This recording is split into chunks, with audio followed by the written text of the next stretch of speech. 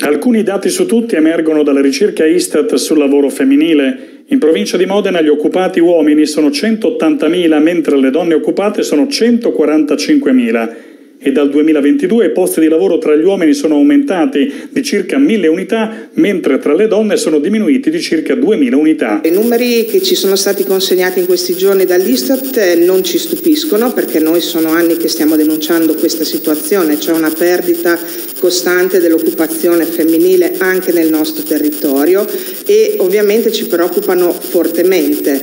Eh, prima del Covid a livello nazionale si era riusciti a, a raggiungere la soglia del 50% di occupazione.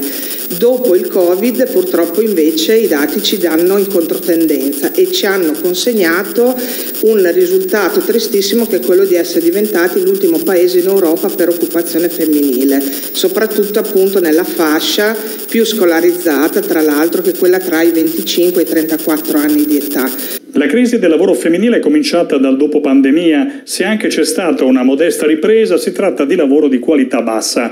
Oggi in Italia lavora una donna su due, a livello manageriale solo il 28% delle posizioni di vertice è ricoperto da donne e il gap salariale tra uomini e donne in qualsiasi settore resta tuttora evidente.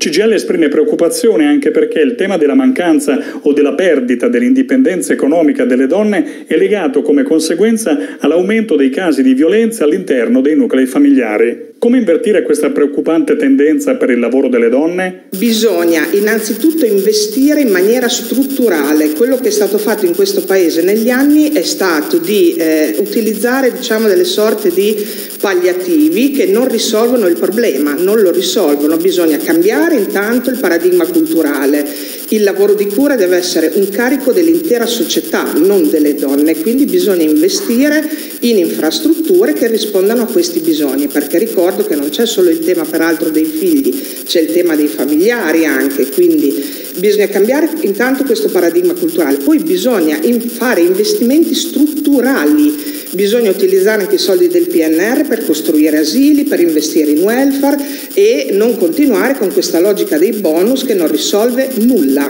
nulla.